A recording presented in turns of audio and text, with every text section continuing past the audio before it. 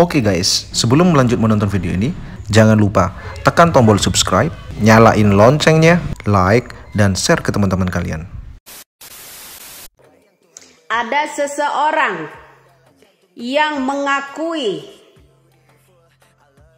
juriat Nabi, bahkan dicucu nabikan.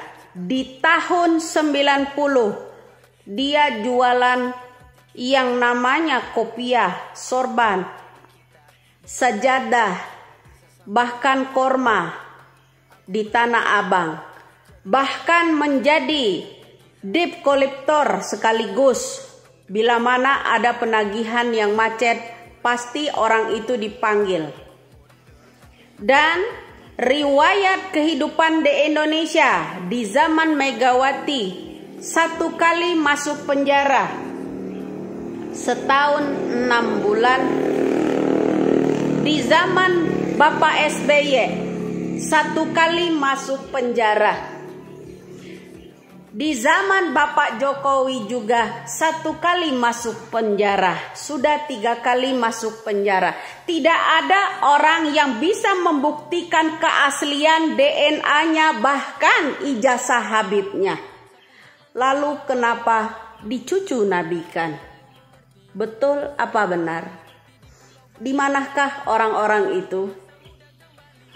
Tiga kali masuk penjara, bahkan saat ini pun belum bebas sepenuhnya karena istrinya masih dijaminkan karena dia ingin bebas jelang pilpres ini. Semua pendukung-pendukungnya tidak ada satupun yang bisa membuktikan keaslian datanya bahwa dia itu adalah cucu Nabi, keturunan Nabi. Kenapa hanya Egi Sugana jelang tahun politik 2018 lalu yang mengakuinya? Tahun 89, 90 sampai ke 2018 itu ke mana saja? Hanya menjabat sebagai anggota PAM Swakarsanya Soeharto lalu dicucu nabikan.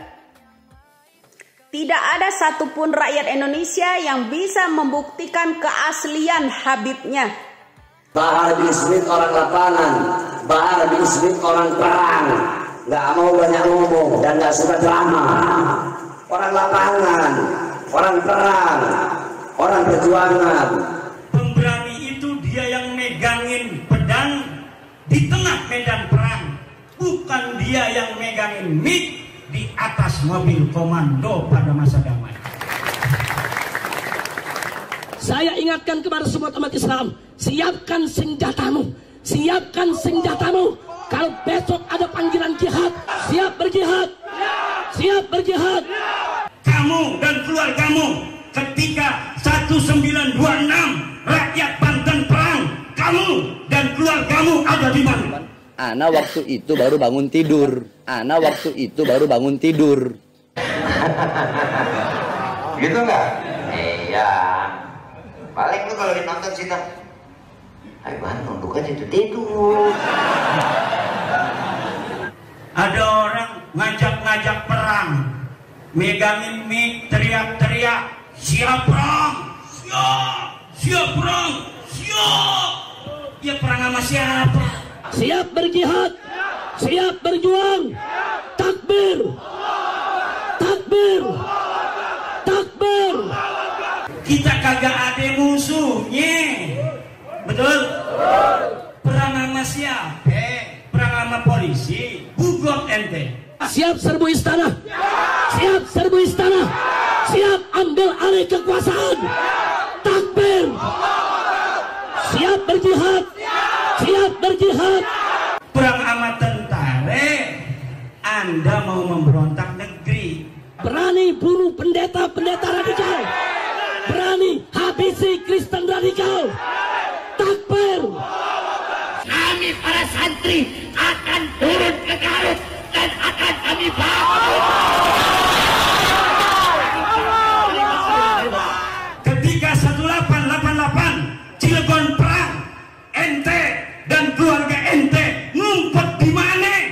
Dan tak Habib suruh saya deketin bidadari satu yang tidak pernah saya lakukan seumur hidup.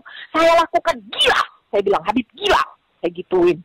Oh, ngamuk saya Kak Emma. Akhirnya toh nggak minta ampun, minta maaf, minta ampun, tolong Firya, tolong minta ampun. Sampai dia mau mundur, dia nggak mau lagi mimpin aksi ini Kak Emma. Bayangin. Mas, saya bilang, saya tidak ada niat ya, tidak ada niat menteror, mengancam, ataupun menekan. Saya tidak ingin Habib sakit, tapi perbuatan Habib yang buat saya seperti ini. Ketika 1825 Perang Jawa ente dan keluarga ente ada di mana? Ane cari kagak ada. Kami adalah majikan kalian. Kami adalah pemilik bangsa. Kami adalah pemilik kedaulatan Indonesia. Saudara. Ketika Banten dan POC 1750 perang acak-acakan kunciran. Hangus. Rata itu Karawaci caringin hancur lebur. Kita ingin mengusir para penjajah di bumi Banten dan DKI Jakarta.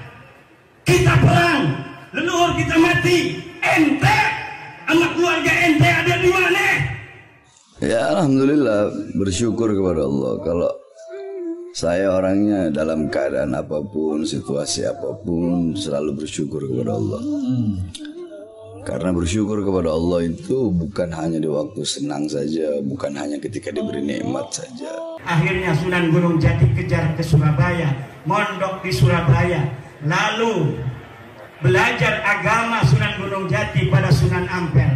Ketika itu, ketika Sunan Ampel dengan susah payah menyebarkan agama Islam di Banten, ente dan keluarga ente ada di mana? Siap bersatu, siap bela agama, siap bela bangsa, siap bela negara, siap setia kepada NKRI. Orang lagi damai dia, saya paling berani. Kita siap perang takbir. Allahu Akbar. maju satu langkah untuk melawan para habaib kami. Maka kami umat Islam, kami para santri maju seribu langkah untuk melawan kalian. Allahu Akbar. Kata polisi, saya juga Allah Akbar. Mau perang dengan saya, ini Allah Akbar, itu Allah Akbar. Sami Allah liman hamidah. Eh anjing, eh babi, kenapa engkau tipu-tipu kau punya rakyat? Eh anjing, eh babi, kenapa kau jual ayat-ayat Allah dengan harga yang murah? Eh anjing, eh babi, kenapa kau jual ayat, kau jual hadis untuk kepentingan perutmu? Eh anjing, eh babi, kenapa kau pakai sorban tapi engkau berdiri di pintu-pintu pejabat, di pintu-pintu pemerintah? Assalamualaikum. Tes DNA, anu udah bilang kalau mau tes DNA dua syaratnya. Satu, bisakah ente orang yang ngajak tes DNA ini menggali kuburnya Rasulullah, ambil darah beliau, nanti cocokkan sama kita orang, atau darah Sina Ubaidillah yang kan dikatakan putus, eh, darahnya atau rambutnya ke atau apa?